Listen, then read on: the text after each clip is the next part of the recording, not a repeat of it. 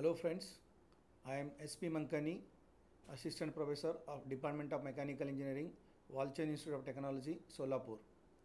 Today we are going to study working of regenerative hydraulic circuits.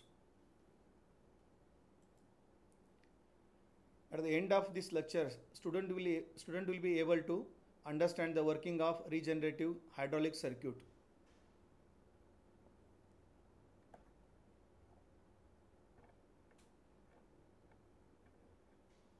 So now this is a regenerative hydraulic circuit. So here this one is reservoir, filter, pump and motor is coupled to the pump and this is pressure relief valve and this is one is a 4 by 3 position operating spring loaded DC valve and here is a piston and cylinder arrangements. So here initially we are going to be connected as a 4 by 3 4 by 3 this direction control valve so here at the center this is neutral. And this one is one po position 1 and this is position 2 just for a reference purpose they are given as a position 1 and position 2 so here when the oil is going to be pumped so through the filter through the filter this oil comes to this particularly p position. So from this p it is connected to the is directly to the reservoir. So means this particularly as a central is a neutral position. Neutral position. So and here this port 1 and port 2. So as far as this one port 1 is connected to this one and port 2 is disconnected. Port 2 is disconnected. So as it is a 1, 2, 3, 4, 4 ports and 3 positions. Direction control valve. So now the figure we are going to be once again referring as the oil is going to be pumping through this pump and that will come to this one position and that will back to the reservoir. This is a normal condition we are going to be considering it. Sure this end is closed. So in case if it is going to be crossing the defined pressure, whatever the gauge pressure we are going to be setting, if it is crossing that uh, this defined pressure, then this circuit is going to be coming in the working condition. Just you can observe here the flow is coming through this way and that is going to be shifted this position. This arrow mark is going to be shifted to this particular position. So because of the oil is going to be acting here, the pressure, so then this is going to be coming in the uh, acting that time this particularly is connected, then the oil is going to be coming back to the reservoir. So only this action is coming in the picture whenever it crosses the defined pressure otherwise it is going to be flowing through this way.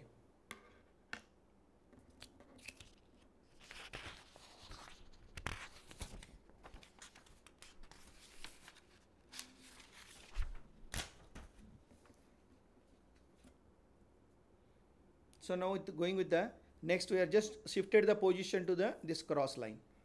So means initially the position is directly connected there is a neutral condition so now we are going to be, by using this particular handle, we are going to be shifting this to the position 2. So here is a position 2, we are going to consider it. So by this position, so whatever the oil is going to be pumping through this filter, the filtered oil is coming through this uh, pump. So the motor is coupled to this pump. So here this oil is flowing through this way. So here this is blocked. This position is blocked, means the oil will not be flowing through this way. The port number 2 is concerned. So then this oil is has to flow through this way. The oil has to flow this way.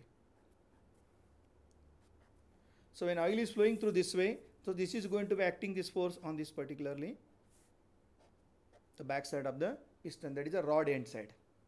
So here this is going to act on the rod end side then it's going to be forcing in the this direction. So then this outlet so as this is inlet and this is becoming as a outlet. So as the oil is flowing this way, this is inlet we are going to consider, this is outlet. And oil when it is coming through this way, so it is coming through this particularly connection.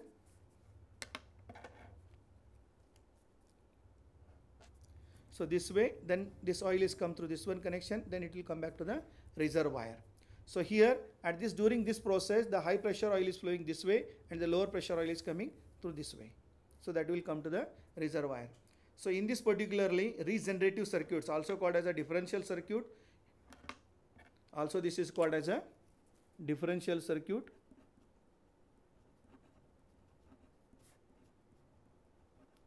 and also it is a bypass circuit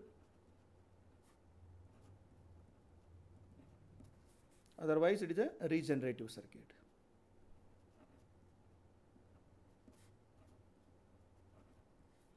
So we are going to be calling it as three names the differential circuit bypass circuit or a regenerative circuit.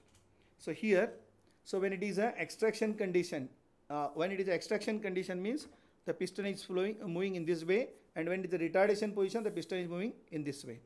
So now so based on that one so now here in the next diagram with the continuation of the same figure. So just we have shifted to the position 1 so as compared with the figure number 1 so here initially you take a neutral condition. Now this is connected to the direction control valve as a position 2 and now it is a position 1 the position 1 figure is indicating it as so now the oil is coming through the filter to the pump. So then high pressure uh, this oil is come to through this particular way so it will come to this one. So whenever forcing this particularly piston in this direction in this direction. So now in this what arrangement we have made as a regenerative circuit is so whatever the so even if we are going to be considering this as a P P1 we can take and this as a PS okay PS I just I given the notation or otherwise you can give it this as a PR as a rod side. So now here if you are going to be considering this as PR is greater than P1. PR is greater than P1. So this condition we are going to be considering it the basis as, so here as the force is, force is equal to pressure into area. Area is more in this side and area is less in this side. As the rod is also there in this particular as a portion and because of that area is going to be considering here as a less and here is a more area. So this is going to be pushing it in this direction. So because of that one, you are going to consider PR is greater than P1. So means this whatever the piston is going to be moving in this way, while the oil is flowing through this way, high pressure oil. So that time the piston is moving in this way. When the piston is moving in this way, so that time whatever the oil is there here, so that will come through this way. So that oil is coming through this way as a port 4. So when oil is coming through this way, we are going to be connected that oil. Just it is a bypassing this oil. We are going to be bypassing this oil in the previous diagram, you have seen that is a directly connected to the reservoir. So now it is going to be bypassed to this uh, portion. So from this particularly the oil is going to be added. So means addition of oil is going to be taken place. Here the area is more and here the area is less. And because of lesser area, pressure will be more. Only we can pass this oil through this way toward this side. We cannot pass this oil toward this side because this pressure is more. So that is what we consider as a F is equal to P into area pressure into area. So now this is force is equal to pressure into area and this is PR is a pressure at this side and P1 is a pressure at this side. That is a blind end we are going to consider this is a blind end and this is a rod end. So by considering this one we can pass the oil whichever at the higher pressure we are going to send it to this one and that will be the quantity here as a more and because of this rod and the area is less here and that oil is coming through this way as a higher pressure oil. So by considering this one as a regenerative system, so here what exactly you are going to uh, understand in this one as, so while it is coming this way, while it is coming this way, so it is having a, a more pressure is there here. And because of that, when it is coming this side, it is at a lower pressure.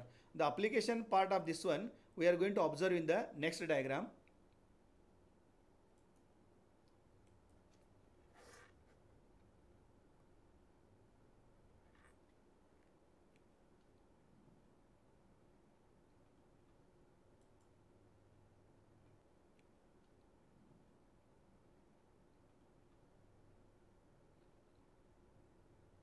So now just you can observe the working model of regenerative hydraulic circuits. In the first condition we are observing here as, so just you can observe in the first condition it is a high pressure oil is moving inside the cylinder at the piston end side and the low pressure oil is coming through this way. Blue color I indicated here as a red color indicating it is a higher pressure at this condition directly motor is pumped uh, uh, through the motor it is going to be pumping and it is coming this side the oil is coming outlet because without any resistance it is coming this side.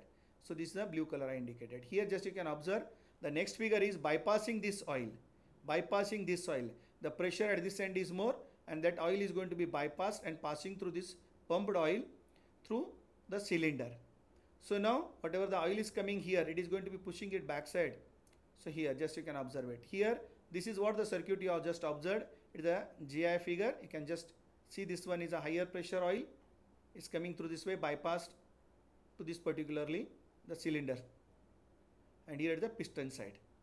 Even we are going to be calling it as a blind end side and this one is a rod end side. So just you can observe here, it is connected here, it is closed. So now the oil is going through this way and it is bypass oil is going to be passing through this way. In the next, what are the advantage of regenerative hydraulic circuit? What are the advantage of regenerative hydraulic circuit? The speed of the extension can be made greater than that of regular double acting cylinder. The extending speed can be made greater than the retracting speed if the rod size is made small enough. The example is power press machine.